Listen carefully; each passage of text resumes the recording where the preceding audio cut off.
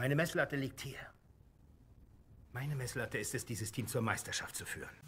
Ja, hallo zusammen, wir machen weiter mit einer neuen Folge. Heute Abend geht es ja los mit dem DFB-Pokal. Morgen ist auch das Finale vom Supercup. Und anlässlich dazu erstellen wir quasi unseren eigenen Pokal, den MFB-Pokal, also den Money Football Pokal. Hier ändern wir noch das Jahr, also das ist die Saison 22, 23. Unsere Liga ist ebenfalls komplett. Wir sind jetzt zehn Spieler, also die Zehnerliga ist komplett. Allerdings würde ich trotzdem noch Bewerbungen annehmen, sollte noch jemand Interesse haben, denn wir haben einen Manager in der Liga, der sehr wenig aktiv ist oder sogar überhaupt nicht aktiv war jetzt in den letzten äh, Wochen. Das ist Kevin Sterle. Er hat sich direkt am ersten Tag äh, angemeldet. Es war eine öffentliche Liga bei Comunio und da hat er sich angemeldet. Und zu dem Zeitpunkt war es noch keine Pro-Player-Liga. Und seitdem war er auch nicht aktiv auf dem Transfermarkt. Deswegen glaube ich auch nicht mehr, dass da noch irgendwas kommen wird. Und dementsprechend würde ich den Platz dann quasi frei machen, falls noch jemand von euch Interesse hat. Allerdings sind wir jetzt zehn Spieler und wir können daher dann auch schon einen Pokal erstellen. Wir gucken uns hier den Modus an. Also wir machen äh, vier Gruppen, jeweils immer nur ein Hinspiel mit einer K.O.-Phase. Wir machen realistische Ergebnisse. Ja, in, die, in der Gruppenphase habe ich jetzt es folgendermaßen gemacht, dass wir quasi die Top-Teams alle in einen Topf werfen und dass die quasi direkt am Anfang gegeneinander spielen sollen. Also wir haben jetzt hier Harun Taskin, es hat momentan den äh, höchsten Teamwert mit fast 100 Millionen. Danach kommen dann wir mit 90 Millionen. Dann kommt Zebra 2 mit bisschen über 60 Millionen.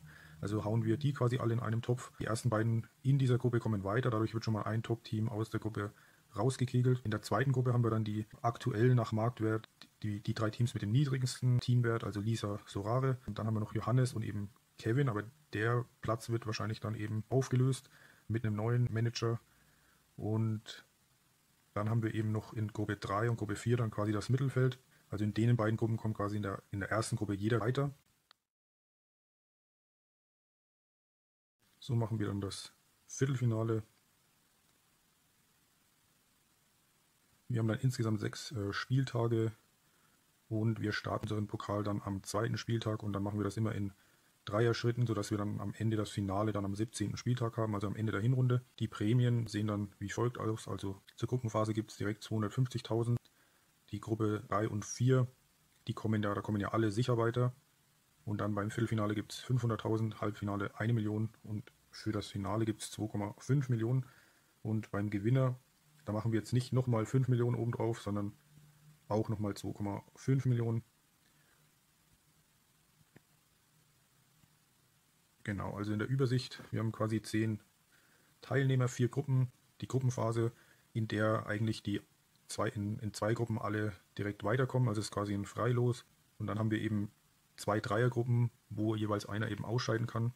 Und dann geht es eben los mit dem Viertelfinale, Halbfinale und Finale. Und der erste Pokalspieltag ist am zweiten Spieltag und der letzte eben am 17. Spieltag. Und dann starten wir mal den Pokal, loggen das Ganze ein. Also wir haben jetzt hier die Gruppe 1 mit den ganzen Top-Teams sozusagen, also anhand vom Teamwert zumindest. Und da kann einer rausfliegen. In der Gruppe 2 haben wir dann die Teams mit den geringsten Marktwerten, da kann auch einer rausfliegen und Gruppe 3 und Gruppe 4 ist quasi ein Freilos und dann haben wir eben das Viertelfinale, Halbfinale und Finale. Ja, soviel zu unserem Pokal und das Ligageschehen, um es nochmal zu beschreiben. Also wir haben Payouts, der erste Platz, also der Meister bekommt 300, der zweitplatzierte 200 und der drittplatzierte 100 Euro.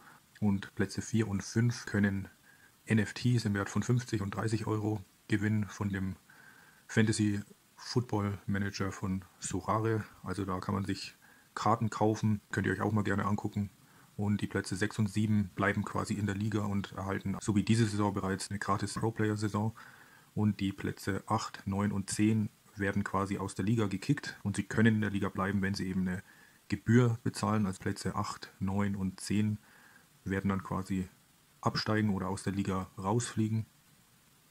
Außer sie bezahlen dann quasi eine Teilnehmergebühr. Also in, in dieser Liga geht es schon richtig um etwas. Also man kann viel gewinnen und wenn man verlieren sollte, dann muss man die Teilnehmergebühr nicht bezahlen, aber dann wird man eben aus der Liga gekickt und dann hat eben im nächsten Jahr, in der nächsten Saison jemand anderes die Chance, in unsere Liga dazuzustoßen. Und in der nächsten Folge stellen wir dann die Liga vor. Also alle, wir gehen dann alle einzelnen Mannschaften durch, gucken mal an, was die anderen Manager so gemacht haben über die letzten Wochen. Und Ja, bis zum nächsten Mal.